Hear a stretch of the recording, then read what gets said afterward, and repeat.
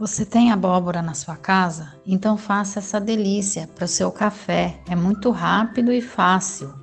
Adicionei em um liquidificador uma xícara de óleo, três ovos e uma xícara de abóbora.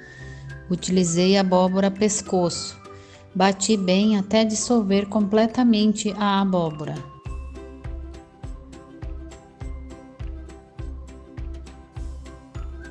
Depois coloquei em uma travessa e acrescentei uma xícara de açúcar, misturei bem para dissolver o açúcar. Depois peneirei aos poucos duas xícaras de farinha de trigo, misturando bem. Já vai deixando nos comentários a sua cidade, vai interagindo e assim posso te mandar um abraço especial e você recebe as próximas receitas. Este bolo é muito fácil de fazer, não precisa ficar batendo, é só misturar mesmo. Depois acrescentei meia xícara de coco ralado, é opcional, mas eu gosto bastante. Ainda acrescentei uma colher de fermento em pó, misturando para incorporar tudo. O abraço especial de hoje vai para Marilene Melo Santana, de Jardinópolis. Ela diz que adora as nossas receitas. Um grande abraço, Marilene. Coloquei em uma forma untada com manteiga e enfarinhada toda a massa e já levei ao forno que estava pré-aquecido a 200 graus e deixei lá por cerca de 35 minutinhos.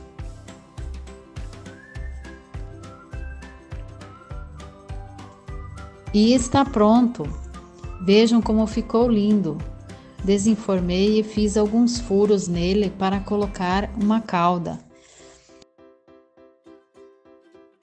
Em uma panela, adicionei um leite condensado, 395 gramas, e 100 ml de leite, mais 4 colheres de chocolate em pó, utilizei o 50%, e ainda uma colher de manteiga.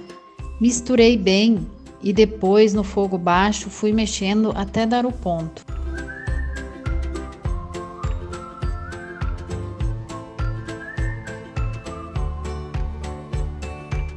Joguei a calda por cima do bolo e pronto. Servi com um cafezinho que ficou ótimo.